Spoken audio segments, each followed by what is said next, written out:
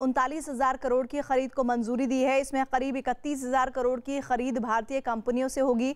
मंत्रालय ने 21 एम आई G twenty और 12 बारह सुखोई 30 एम के आई लड़ाकू विमानों की खरीद को भी मंजूरी दी है। इसके अलावा उनसठ मिग 29 विमानों को अपग्रेड करने का भी फैसला किया है। तो रक्षा मंत्रालय का ये बड़ा फैसला, जिस पर अब बहुत जल्द और बेहतरीन हमारे जो वायु सेना के जो विमान है, वो बेहतर तरीके से लड़ाई के लिए तैयार दिखेंगे। उनतालीस हज़ार करोड़ का करीब जो खरीदारी है, उसको मंजूरी दी गई है।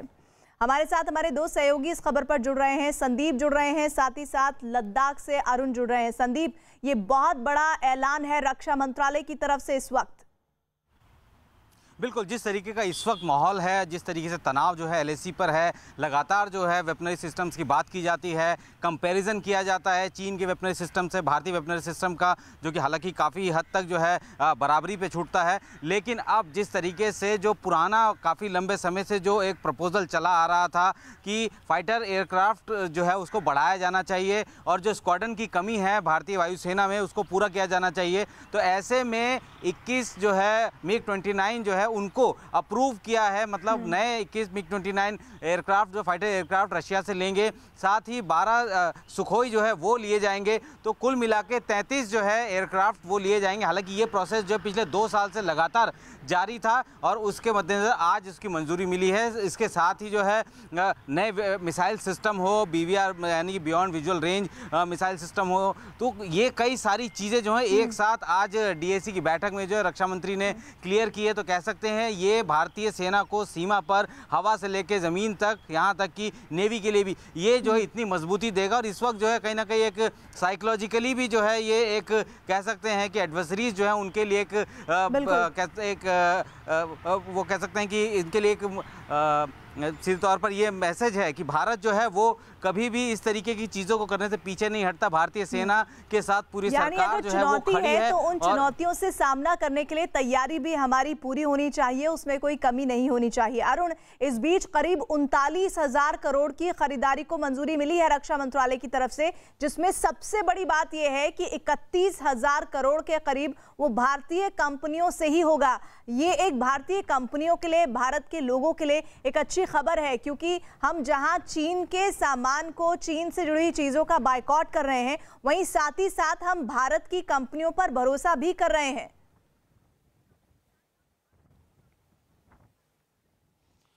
देखिए आत्मनिर्भर अगर बनना है मेक इन इंडिया को सफल बनाना है और दूसरे देशों पर आत्मनिर्भर नहीं रह सकते हम अगर उनको सफल करना अपने कार्यक्रमों को। इसलिए उस दिशा में बड़ा कदम है डिफेंस इक्विपमेंट के मामले में डीआरडीओ से लेकर के जो हमारी संस्थाएँ हैं लगातार कोशिश करती हैं रिसर्च करती हैं। ये बात सही है कि बहुत सारे ऐसे मुल्क हैं चाहे वो अमेरिका हो चाहे वो इसराइल हो और कुछ हद तक चीन भी है जो डिफेंस हम्म। प्रोडक्शन को लेकर के थोड़ा आगे हैं लेकिन भारत भी कोशिश कर रहा है और अब भारत ने ज़्यादातर कोशिश करना शुरू कर दिया कि जो भी डिफेंस का प्रोडक्शन हो क्योंकि बहुत ही सेंसिटिव मामला होता है किसी दूसरे देश से जब आप एयरक्राफ्ट खरीदते हैं मिसाइल खरीदते हैं तो उसकी टेक्नोलॉजी काफ़ी हद तक दुनिया को पता होती है कम से कम उस देश को तो पता ही होती है हम्म। इसलिए ज़्यादा ज़रूरी कि इंडिजिनस हम अपने ही घर में लड़ाकू हम्म। विमान बनाए तेजस हमने बनाया हम अपने ही घर में मिसाइल बना रहे हैं हम अपने ही घर में डिफेंस इक्विपमेंट जो सेंसिटिव है उनको बनाए रडार हम्म। को बनाए और उस दिशा में मुझे लगता है कि भारत सरकार ने ये जो प्रपोजल था जिसको मंजूरी दी है ये बड़ा कदम है बिल्कुल, और इसी के साथ ही एक और खबर जिसकी जानकारी व्यूवर्स तक पहुंचाना ज़रूरी है। खबर यह है कि रक्षा मंत्री राजनाथ सिंह का कल होने वाला लद्दाख दौरा टल गया है। राजनाथ सिंह के साथ सेना प्रमुख जनरल एम एम नरवड़े के भी लद्दाख जाने का कार्यक्रम था। संदीप, कार्यक्रम रद्द होने के पीछे की वजह क्या है? देखिए, अभी तक कार्यक्रम रद्द होने के पीछे की वजह साफ़ साफ़ नहीं बताई गई है और ये जो कार्यक्रम था, ये भी लाइकली था। यानी कि शुक्रवार को जा सकते थे, वो भी उनका पक्का नहीं था। पिछले एक हफ़्ते से कई बार इस तरीके से जो है तारीखें तय हुई उनके जाने की लेकिन किसी न किसी ज़रूरी काम के चलते या कोई इंगेजमेंट हम्म। पहले से ही जो थी उसके चलते नहीं जा पा रहे हैं। लेकिन जल्द ही जो है रक्षा मंत्री लेह का दौरा करेंगे। वहाँ पर जो है सेना के कमांडरों से हम्म। पूरा ब्रीफिंग हम्म। लेंगे बातचीत करेंगे।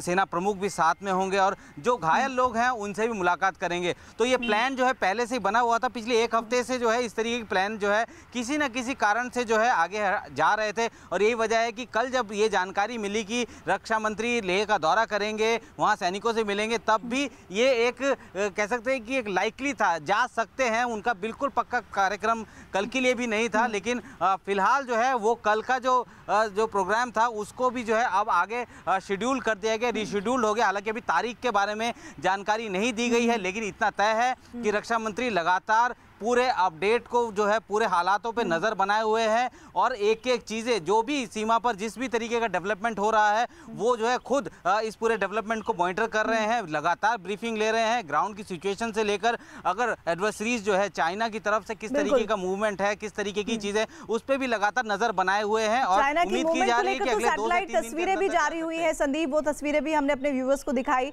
इस बीच मेरा सवाल अरुण आपसे आप लगातार कई दिनों से लद्दाख में मौजूद हैं। इस वक्त कोई ऐसी बात जो आप हमसे साझा करना चाहते हो, क्योंकि रक्षा मंत्री का तो दौरा रद्द हुआ है, लेकिन कोई ऐसी खबर जो आपको लगता है कि हमारे व्यूवर्स यहाँ जाने तो बेहतर होगा?